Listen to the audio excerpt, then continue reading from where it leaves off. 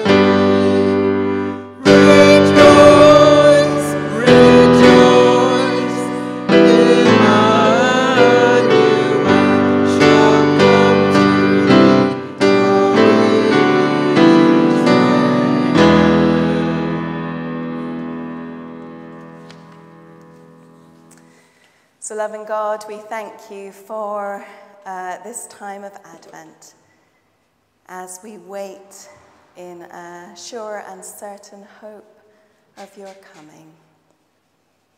Help us to be those who live uh, in a patient but active waiting for you. In Jesus' name, amen. Please do be seated. Just a couple of notices. Uh, you should already have had uh, your November notices. We're almost into December notices, so if you haven't got them by email and picked them up, there are still some at the back for you. Um, a massive, massive thank you to those who helped and prepared and were present um, at our Christmas cracker this afternoon, uh, this afternoon, yesterday afternoon. Um, and obviously Rosemary isn't around for us to especially help her for bringing that together, but we know she was a big part of that. Um, as well. But yeah, thank you to everyone. It was such a lovely atmosphere. It was a great way to kind of kick off Advent weekend um, and to lead people hopefully into being around and uh, engaging with this period of Advent and Christmas, particularly from our local community. There are some more invitations. This is the invitation heavy part of the year. We recognize that and we're really grateful for those who do go around the streets. So there are some more at the back. There are three flyers in each pack. And that is because we have one for Blue Christmas, uh, which is on the 11th of December. Um, we have one which advertises our carol service, and then all the back, on the back our other Christmas services, our, ad, our carol services on the 18th of December. Um, and we have one that is advertising our extra warm space. So um, obviously tea in the afternoon is registered as a warm space, but we're doing um, uh, a special one from the months of December to February, which um, Joan is hosting in our garden room on Wednesday afternoons. So we want to let our community know about that, um, if it would be really helpful for them to have a, a warm space to go to so they don't necessarily have to heat their own spaces at this time. I'm First, I can see you there, Robert, but I just want to invite Jeff to um, say something about the Christmas sing-along. As you'll all know by now, we're having a Christmas sing-along on the 4th of December at 4pm. And um, it's a very informal event. I want you to come along and enjoy yourselves and uh, enjoy singing some different carols and listen to a few bits of poetry and uh, generally We'll have some mulled wine and it will be quite pleasant, I hope. and uh, just to say, we're having rehearsal at 12 o'clock today after the service for those that want to have a run through, and next Saturday at 2 p.m. So if you can um, just let everybody know that we're having this and invite them along, and please come and just enjoy your start of Christmas. Thank you. Wonderful. Thank you so much, Jeff. Um, I'm in charge of refreshments for the Christmas sing along, um, but I am going to need a little bit of help. So if anyone is willing to give me a little bit of help, kind of prepping and serving refreshments, um, can you come and see me after the service? That would be really helpful. Thank you. And I, I think that's everything on my notices. Um, just to say that the Advent prayer book for this Advent is out. Some of you will have received it um, by email, and if you're happy to use it by online on your email, then that's great. But if you would prefer a hard copy, there are some on the table at the back, so do make use of them this Advent. Um, we also have um, a leaflet which is at the back, I think, where the liturgies are, um, if you're interested in picking one of those up, which just lets you know a little bit about how our pastoral care works. Um, we're really aware that sometimes it would be good to have a visit, um, have more kind of in-depth prayer about something than, than we can do in a Sunday morning service. Um, just to have a chat about something which might be going on in your life um, and you would like to have um, a visit either from the pastoral team uh, or from myself.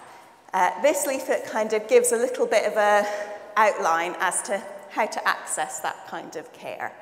Um, so hopefully it's helpful. Uh, do pick it up um, if you'd like that. And I just want to encourage you, there are really lots of ways to access pastoral care um, in the church. So if you would like that, if that's something that you feel would be helpful for you, um, do make use of that because we're very willing uh, to come and walk alongside you, especially in sometimes some of the more difficult times of life.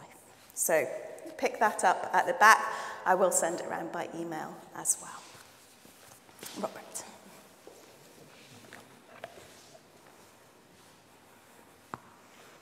Good morning. Two things from me this morning.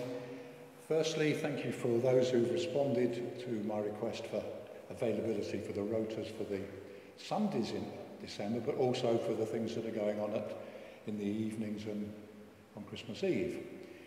I've done an initial rotor. There are three gaps on it. So there, I'm, I'm looking for people to fill the gaps. It's up on the board at the back there. If you are able to help with any of the three that are indicated as to be decided or blank, please let me know.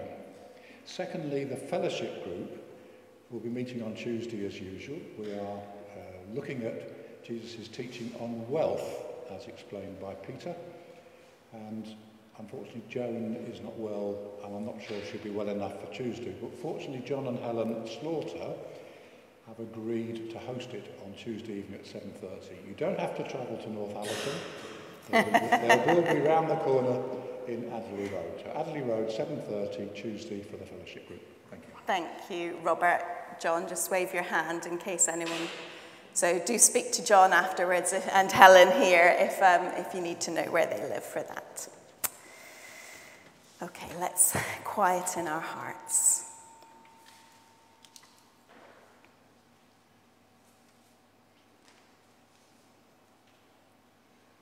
We say together, Faithful One, whose word is life, come with saving power to free our praise, inspire our prayer, and shape our lives for the kingdom of your Son Jesus Christ our Lord. Amen. So, as part of bringing ourselves uh, to the Lord and confessing and uh, bringing all that we are, we will light our Advent candle. Um, and I have a special helper, I think, who's going to come up now. Yes, brilliant. Um, and we'll pray this prayer together just as we invite God to be part of our Advent season. Brilliant. Can you light this candle? You have to press it and keep it pressed down. There we go.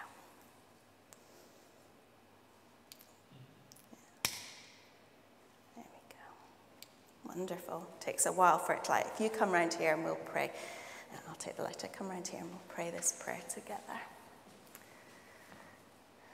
Would you be able to read that? Yeah. Okay. Lord Jesus, light of the world born in David's city of Bethlehem, born like him to be a king. Be born in our hearts at Christmas, be king of our lives, lives today. Be king of our lives today. Wonderful. Thank you so much. You can take your seat. well done. Wonderful. So, our first candle is lit. And so a voice cries out in the wilderness, Make straight the way of the Lord. So let us listen and turn to the Lord in penitence and faith. Turn to us again, O God, our Saviour, and let your anger cease from us. Lord, have mercy. Lord, have mercy. Show us your compassion, O Lord, and grant us your salvation. Christ have mercy. Christ have mercy. Your salvation is near for those that fear you, that glory may dwell in our land. Lord, have mercy. Lord, have mercy. Almighty God, who forgives all who truly repent, have mercy upon you, pardon and deliver you from all your sins, confirm and strengthen you in all goodness and keep you in life eternal. Through Jesus Christ our Lord. Amen. Amen. So you can remain seating as we have our first reading.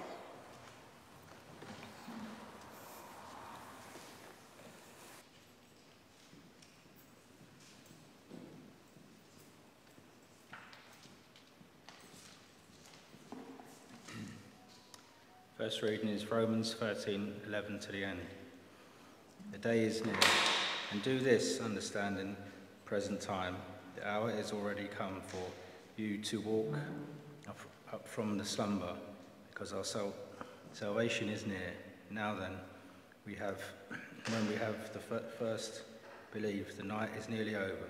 The day is almost here, so let us put aside the deeds of darkness and put on the armour of light. Let us believe decently, as in the daytime, not cursing or drunkenness, nor in sexual immorality and debauchery, but in decency, but in decision and jealousy. Rather clothe yourself with the Lord Jesus Christ, and do not think about how to gratify the desires of the flesh. These are the words of the Lord.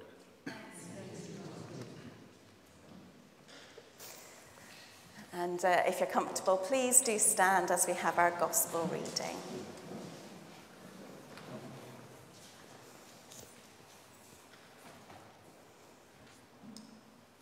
Alleluia, alleluia. Prepare the way of the Lord.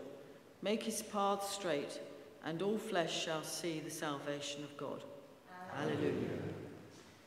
The gospel reading is taken from Matthew chapter 24 and can be found on page 994, beginning at verse 36. The day and hour unknown. But about that day or hour, no one knows, not even the angels in heaven, nor the Son, but only the Father. As it was in the days of Noah, so it will be at the coming of the Son of Man. For in the days before the flood, people were eating and drinking, marrying and giving in marriage up to the day Noah entered the ark. But they knew nothing about what would happen until the flood came and took them all away.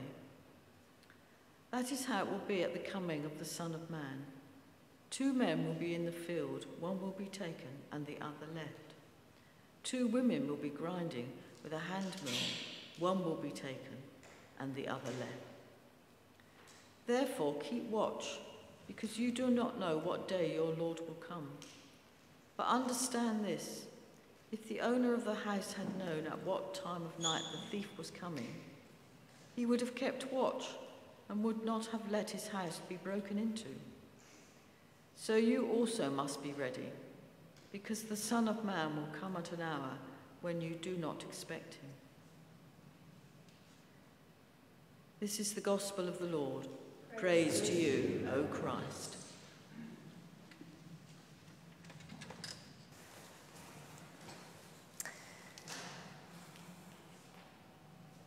Loving God, come and be with us as we hear your word for us today. May you seal it in our hearts by your Spirit. Amen. Please be seated. So, sleep is good. If you've ever been with a child or an adult uh, who is overtired, and you know that they just need sleep and all will be well, you know that sleep is good. Or when you've been ill and it's brought home to you how much our bodies need sleep in order to rest, replenish, recover, heal. You know that sleep is good. Sometimes too much sleep is a sign of something else. Sometimes it's a sign that we've gone into avoidance mode.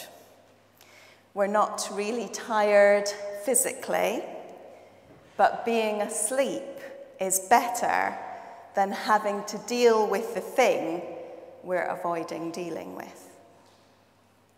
Sometimes it's time to wake up. In the reading from Romans this morning, in the particular translation I was using, it says, You know what time it is, how it is now the moment for you to wake from sleep. This is what St. Paul says to the Roman church he is writing to, and it is what he says to us today in this place at this time to this particular people. because this is the message of Advent. It's not rocket science, as it were. It's the message of Advent every year to wake up and to do our waiting actively. Now is not a time for sleeping while we wait, because we do not know when the waiting will be ended and the thing we wait for, the person we wait for, will have arrived, and we cannot miss it. It may seem, as I've said, this is the message of Advent every year, it may seem a silly message or a slightly over the top message. After all, Jesus has already come. We wait symbolically in Advent for Christmas Day. And, well, we know when that is. And yes, we also know, maybe in our heads, that we wait not symbolically for Jesus to come again. We wait for the second coming of Jesus when all things will be put right. And Advent reminds us each year that we are still waiting. And it can be hard to wait and be reminded every year that we're still waiting. It can be hard to wait and to believe and to keep awake. What does it mean to live our lives as followers of Jesus in what might feel like a perpetual state of waiting? What does it look like to be awake in our waiting? You know what time it is, how it is now the moment for you to wake from sleep. For salvation is nearer to us now than when we became believers. The night is far gone, the day is near. This is what St. Paul says to us, and Jesus says it to us too in that reading. To stay awake, we don't know. But we do know it's nearer now than it was. Jesus also reminds us in other parts of the gospel that the kingdom of heaven is already among you.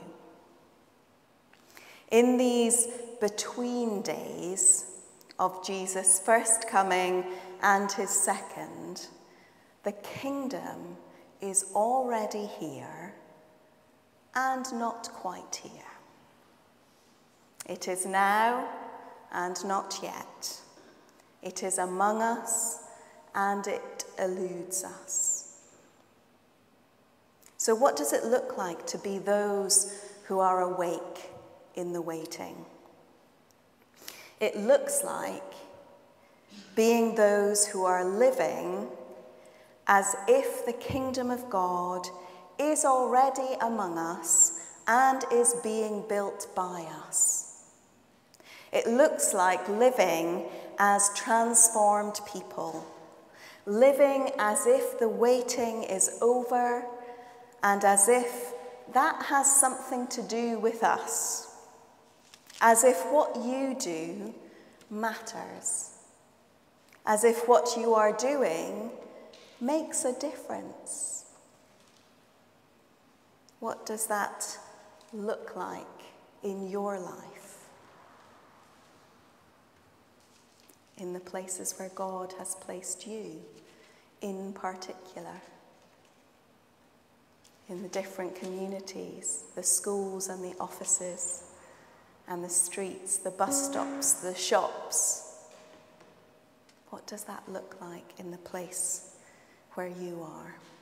living as a transformed people, as if the waiting is over and as if that has something to do with us. Living as if what you do matters. As if what you are doing makes a difference. What does it look like? As if we are the hope of a new kingdom on earth. As if God has left it in our hands. As if we are the people who God has risked it with. Mother Julian of Norwich puts it like this Christ has no body but yours, no hands, no feet on earth but yours. Yours are the eyes with which he looks, compassion on this world. Yours are the feet with which he walks to do good. Yours are the hands with which he blesses all the world. Yours are the hands, yours are the feet, yours are the eyes, you are his body. So we're going to take a moment now to listen to this uh, being sung.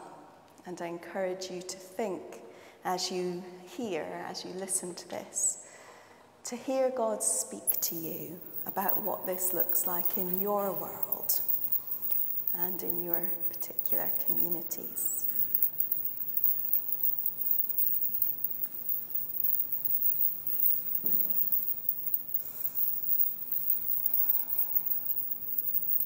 Do you remember how the words go to the song that we did today?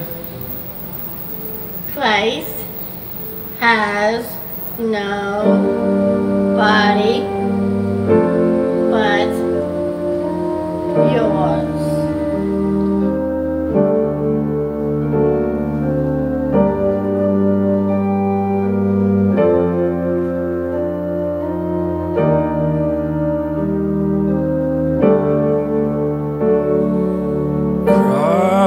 Has no body now but yours.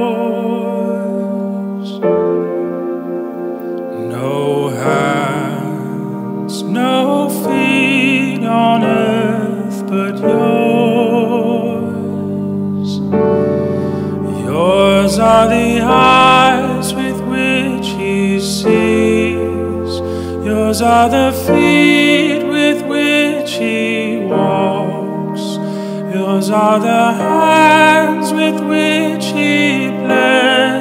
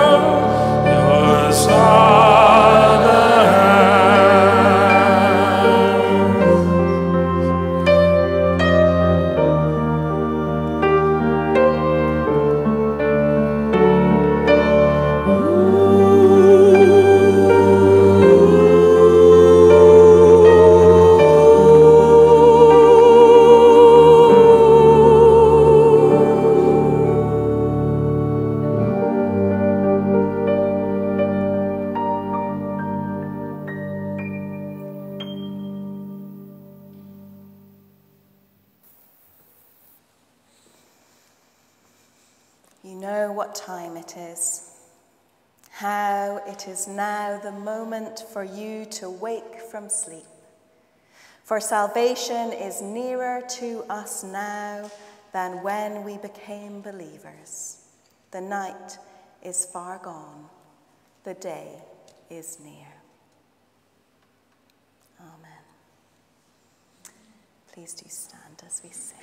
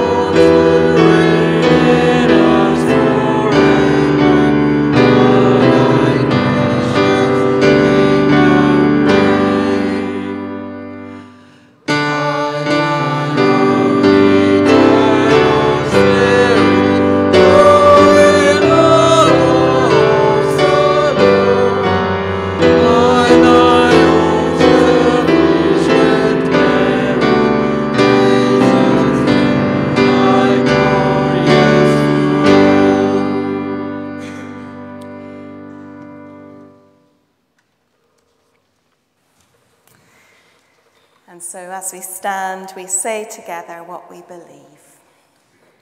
We say together in faith Holy, holy, holy is the Lord God Almighty, who was and is and is to come. We believe in God the Father, who created all things.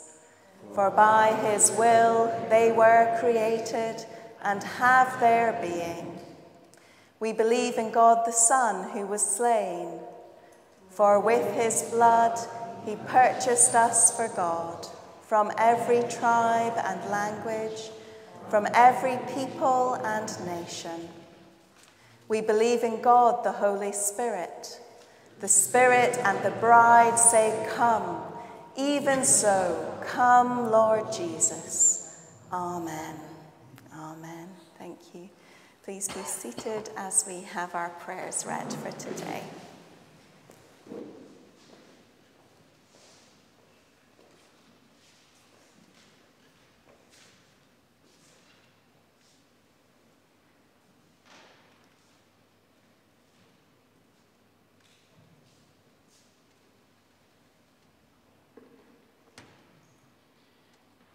In the power of the Spirit and in union with Christ, let us pray to the Father. Almighty God, our Heavenly Father, you promised through your Son, Jesus Christ, to hear us when we pray in faith. Lord, hear us.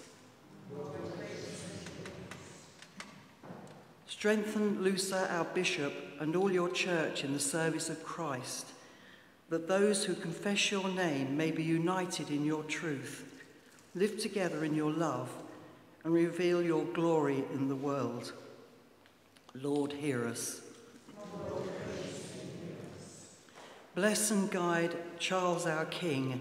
Give wisdom to all in authority, and direct this and every nation in the ways of justice and peace, that we may honour one another and seek the common, common good.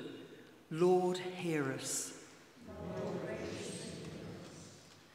Give grace to us, our families and friends, and to all our neighbours, that we may serve Christ in one another and love as he loves us.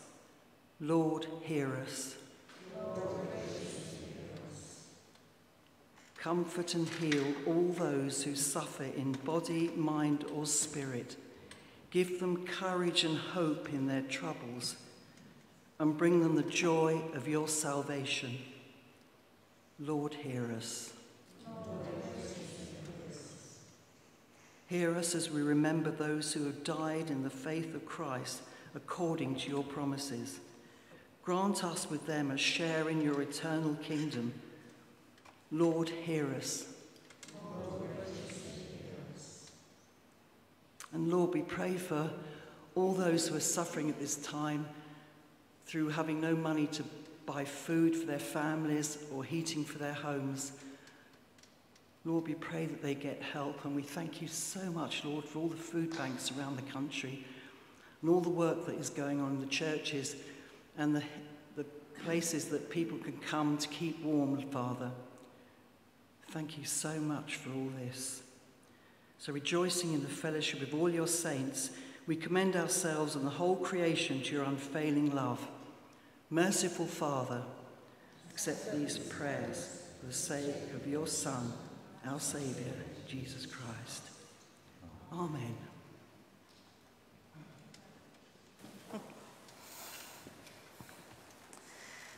And so, if you're comfortable to do so, please stand as we share Christ's peace with one another. May the God of peace make you completely holy, ready for the coming of our Lord Jesus Christ. The peace of the Lord be always with you. Let's share Christ's peace with one another.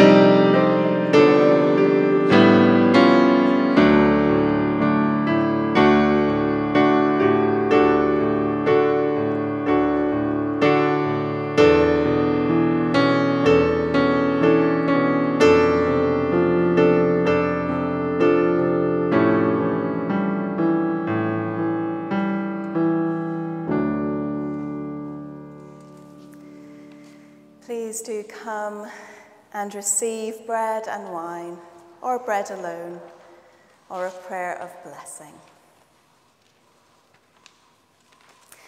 Look upon us in mercy not in judgment.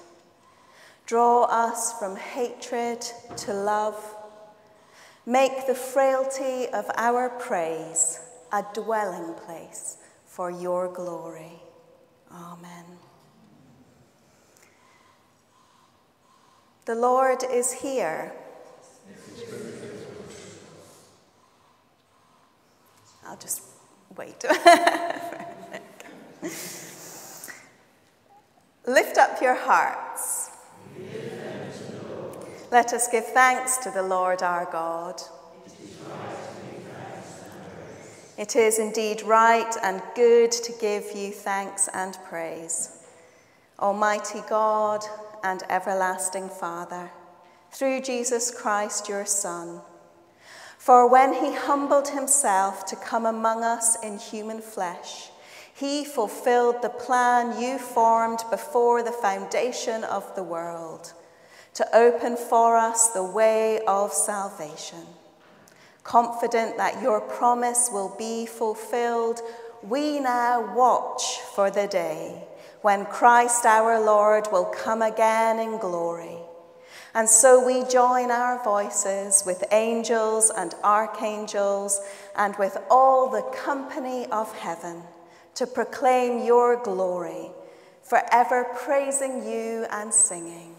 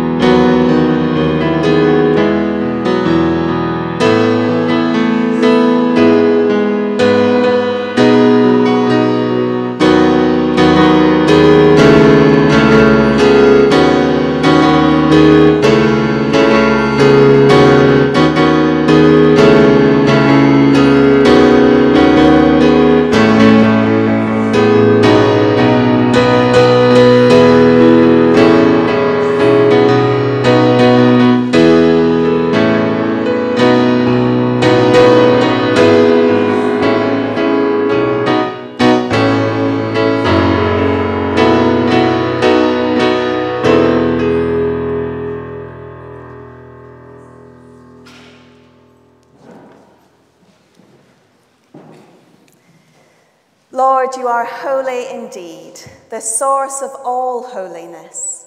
Grant that by the power of your Holy Spirit and according to your holy will, these gifts of bread and wine may be to us the body and blood of our Lord Jesus Christ, who, in the same night that he was betrayed, took bread and gave you thanks. He broke it and gave it to his disciples, saying, Take, eat. This is my body, which is given for you. Do this in remembrance of me.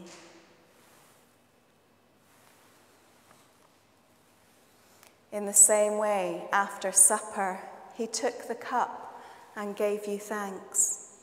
He gave it to them, saying, Drink this, all of you. This is my blood of the new covenant, which is shed for you and for many for the forgiveness of sins. Do this as often as you drink it in remembrance of me.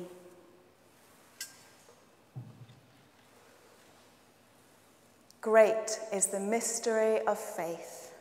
Christ has died. Christ is risen.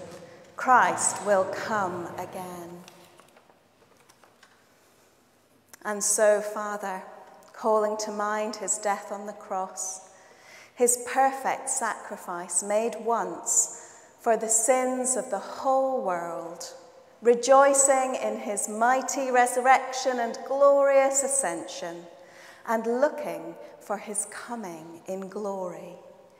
We celebrate this memorial of our redemption as we offer you this, our sacrifice of praise and thanksgiving. We bring before you this bread and this cup, And we thank you for counting us worthy to stand in your presence and serve you. Send the Holy Spirit on your people and gather into one in your kingdom all who share this one bread and one cup, so that we, in the company of all the saints, may praise and glorify you forever. Through Jesus Christ our Lord, by whom and with whom and in whom, in the unity of the Holy Spirit, all honour and glory be yours, Almighty Father, forever and ever. Amen. As our Saviour taught us, so we pray. Our Father in heaven, hallowed be your name. Your will be done. Oh, your kingdom come, your will be done. On earth as in heaven. Give us today our daily bread. Forgive us our sins as we forgive those who sin against us. Lead us not into temptation, but deliver us from evil. For the kingdom, the power, and the glory are yours, now and forever. Amen. We break this bread to share in the body of Christ. Though we are many, we are one body because we all share in one bread. God's holy gifts for God's holy people. Jesus Christ is holy. Jesus Christ is Lord, to the glory of God the Father.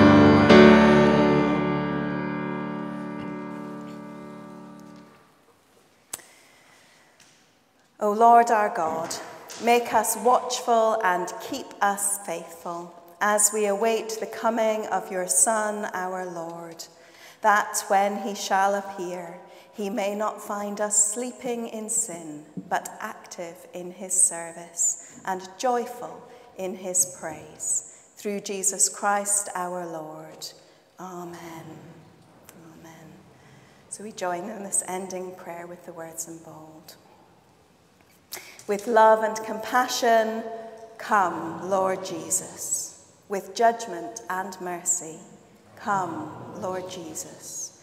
In power and glory, come, Lord Jesus. In wisdom and truth, come, Lord Jesus. Our Lord says, I am coming soon. Amen. Come, Lord Jesus. May the Lord, when he comes, find us watching and waiting. Amen. So Christ, the Sun of Righteousness, shine upon you, lead you in the light and darkness of your path, and make you ready to meet him when he comes in glory. And the blessing of God Almighty, Father, Son, and Holy Spirit be among you and remain with you now and always. Amen. As we await our coming Saviour, go in the peace of Christ. Thanks be to God. Do you join in our final song?